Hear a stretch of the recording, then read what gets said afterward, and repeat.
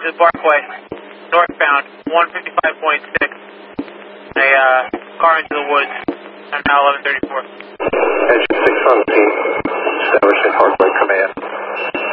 Mile marker is correct, 155.6. We're investigating. All I received on 39. Don't come into the Parkway. Uh, go, go to Colfax. I think it went off the road in 30 yards. You want us to take Colfax Ave? Yes, do not go to the Parkway. Go to Colfax. Believe it's actually going to have come off the road into the complex uh, across Colfax. Got it.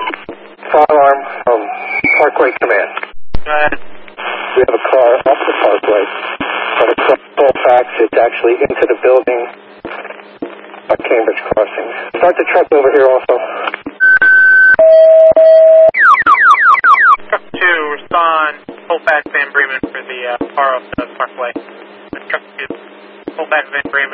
Bremen, the car off the Parkway.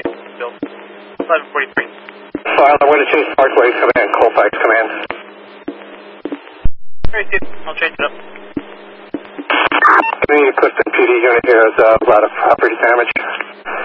Also start the building department. For uh, they got to check the garage at 411 Colfax and the townhomes at Cambridge Crossing. Fire alarm from Colfax Command. One patient, alert and oriented. She's out of the car. Fire alarm, Colfax Command. Total alarm. Probably gonna need a heavy duty wrecker to get this out of here. 32. So